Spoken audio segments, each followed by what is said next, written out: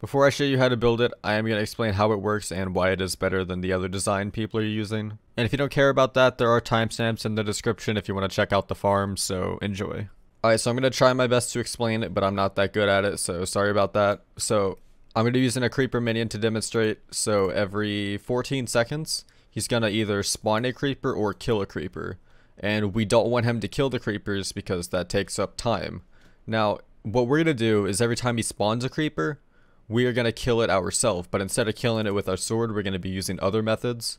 And yeah, this farm is just really the most compact way to do it. So yeah, this is the fall trap design I was talking about. It's pretty much just an eyesore if you have it on your island, but it does pretty much work the same, but my design fits in like a 9 by 7 and it looks way cleaner, so and just a heads up, these farms only double the efficiency whenever you're active on your island, so if you're offline, the, the minions will work as normal, but you have to be on your island to actually make them double the speed.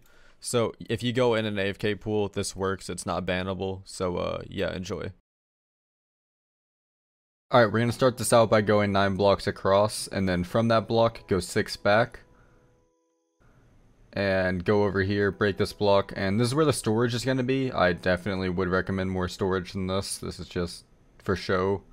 So yeah, make this array of hoppers, and then just fill in the stone. So you have a 9 by 7 platform.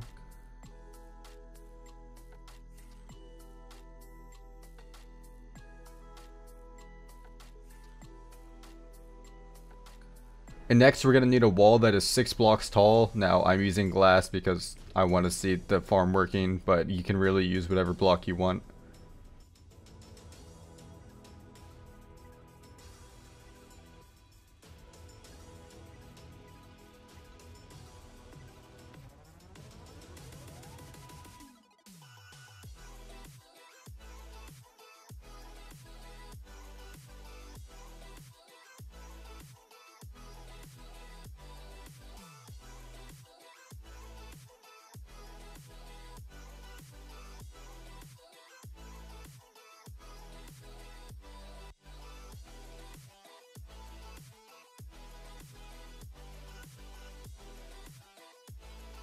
Alright, so from the chest, you need to go up 5 blocks with hoppers.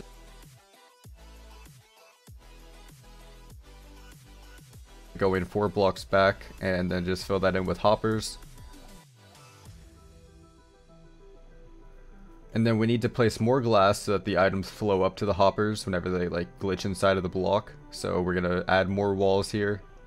It's really important that you double layer it because if you don't, some of the items will fly out and pretty much make this farm useless.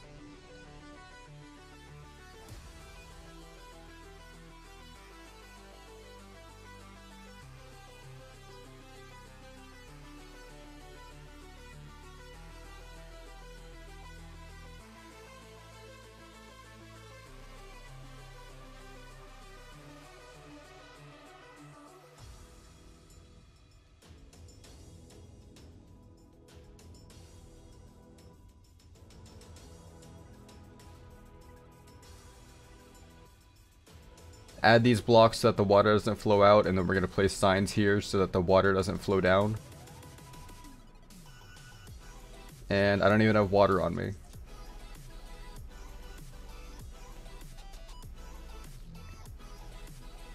Alright, now that I've got water, we need to make this all source blocks. If it's not all source blocks, then the water will just push the mobs down and they'll just really get stuck.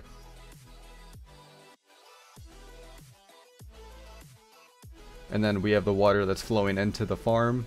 And that's pretty much it. Now, I'm going to put a door here to get in and out.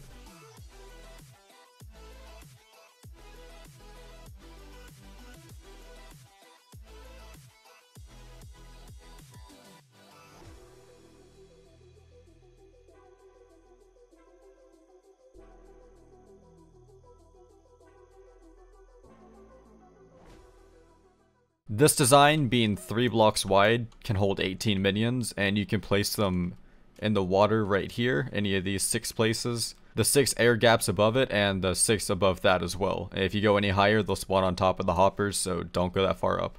Now, I'm going to place a minion just to like show you how it works. So what the minion will do is he will spawn a pig, and the pig will just ride on up and get, go up in the water.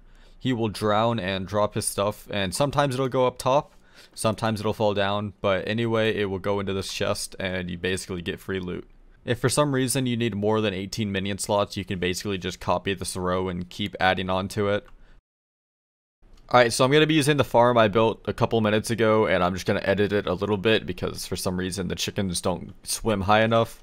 So I'm going to take up the chicken minion, kill these dudes, and basically all we have to do, put three fences right here, and then if we break this sign, it'll break all those three. And we put one water source there, one there, so that these are all infinite water sources. And if I put this back, the chicken should swim all the way up and start drowning. I wouldn't really recommend this edit to any other animal. I would just keep it pretty much strictly for the chickens because items can drop on these fences and you lose a little bit of efficiency with that. Now, it doesn't happen often, but I have seen it happen.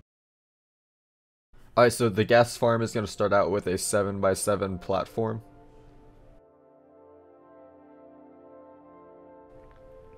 I'm going to add the chest right here.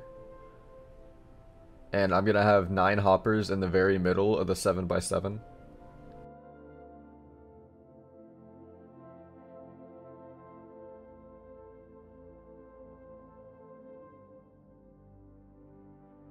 Next, we need to go up 3 blocks with glass while double layering the walls.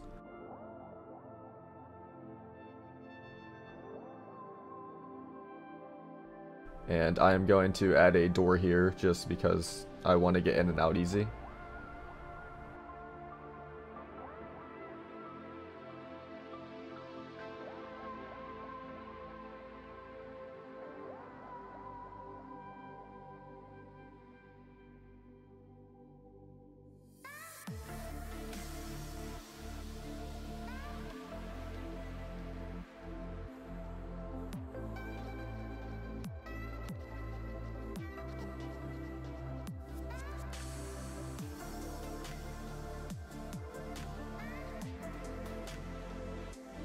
And next we need a 7 by 7 by 3 of any solid block, so it can't be like glass or anything.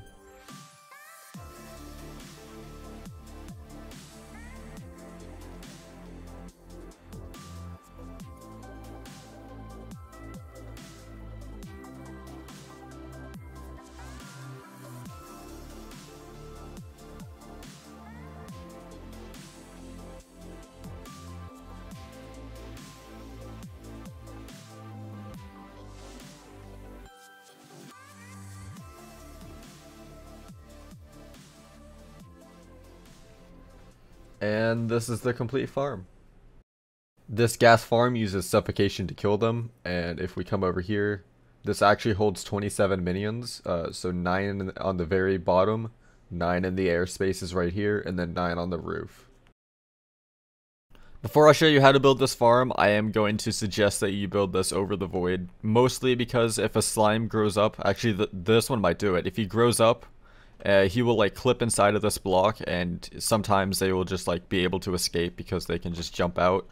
Um, and if you build this over the void, whenever they escape, they just fall down into the void and die, and that pretty much saves the farm from breaking.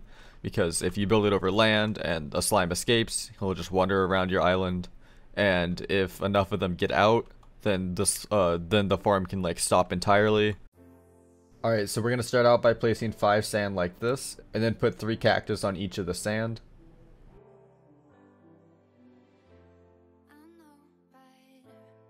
Next we're going to put a chest down and put up hoppers like this.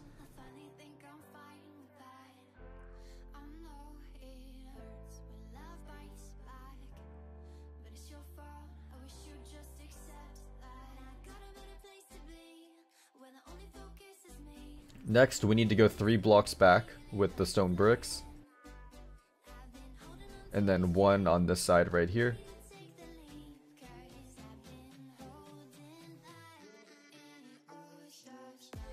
Next, we're going to make a wall and be sure to like not place it next to the cactus or else it'll get destroyed.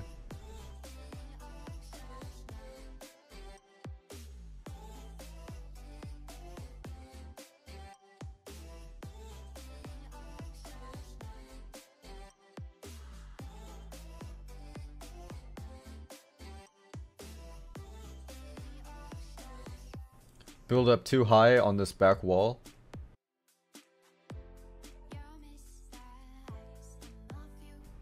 With uh, blocks in the corners. And then take soul sand and make a 5 by 5 out of that.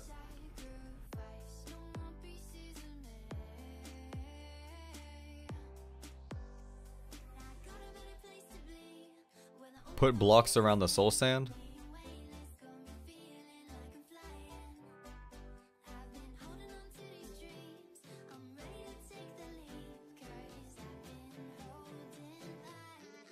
Next, we're going to build the wall up three high so that the slimes can't escape.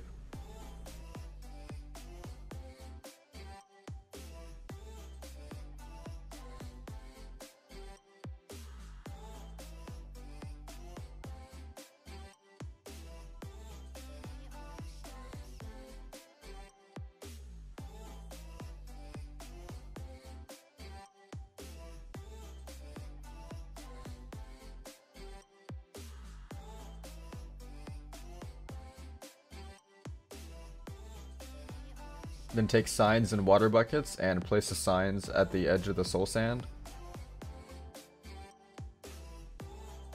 And then place the water in the back. And then go down and place them right here.